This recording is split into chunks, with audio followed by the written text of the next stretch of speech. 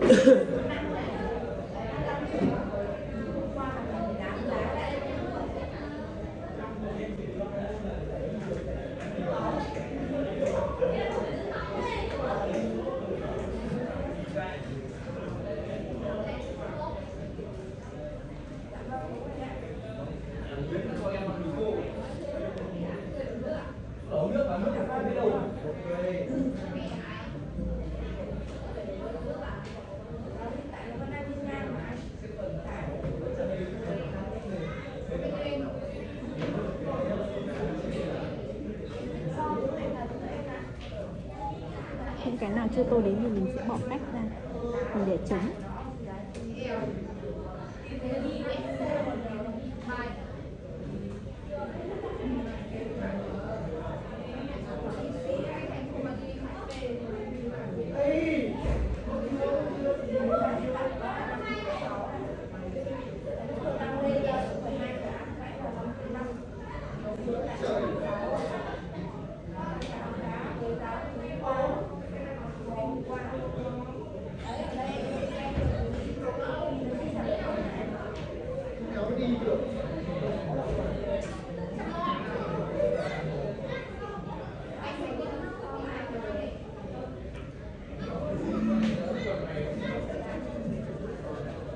tô chân con hổ này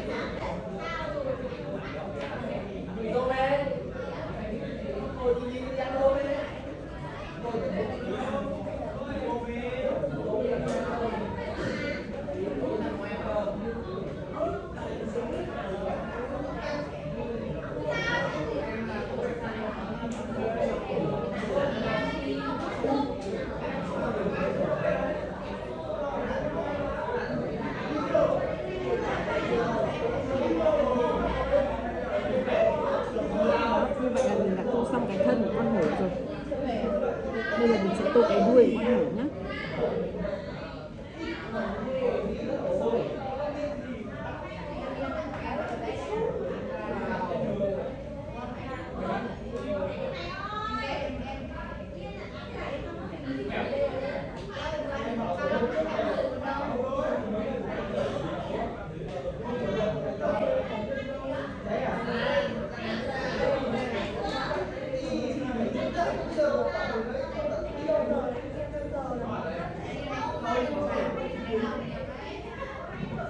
rồi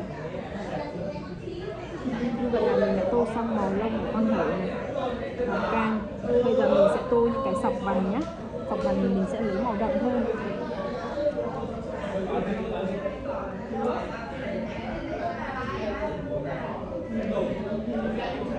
Đây mình sẽ tô màu nâu này.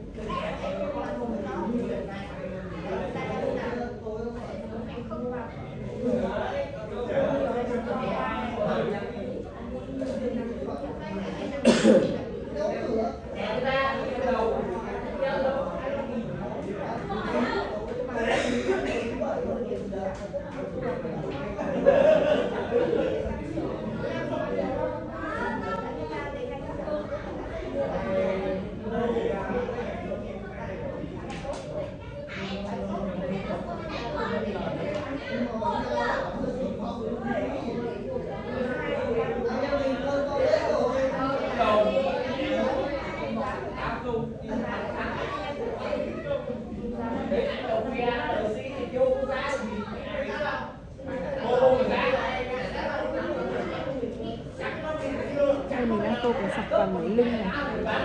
Các bạn thấy không đó ở lưng có khá là nhiều sọc vào đấy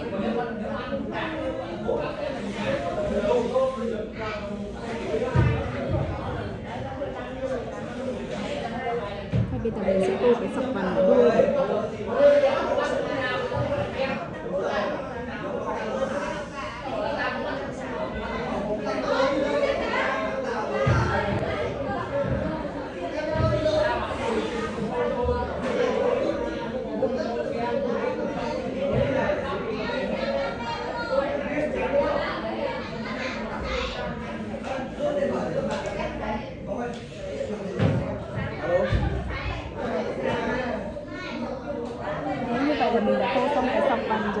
bây giờ mình sẽ tô màu của ngón chân và màu của lông và ngực nhé.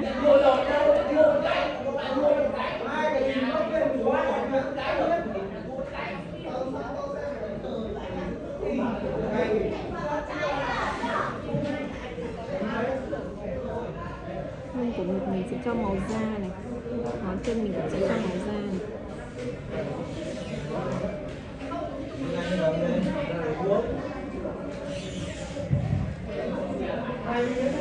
rồi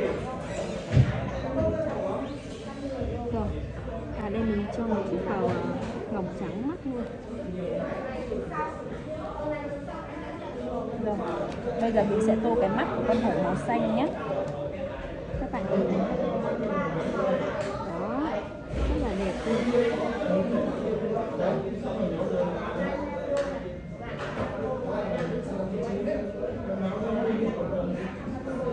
Rồi, như vậy là mình tô xong mắt hổ rồi. Mình sẽ tô tô cái mũi con hổ màu đen đi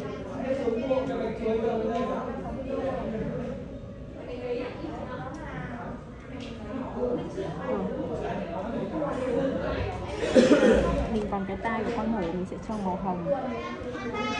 Cái lòng tai của nó trong thành tai.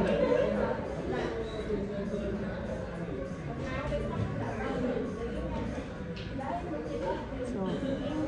À mình còn một chân con hổ nữa, mình sẽ cho màu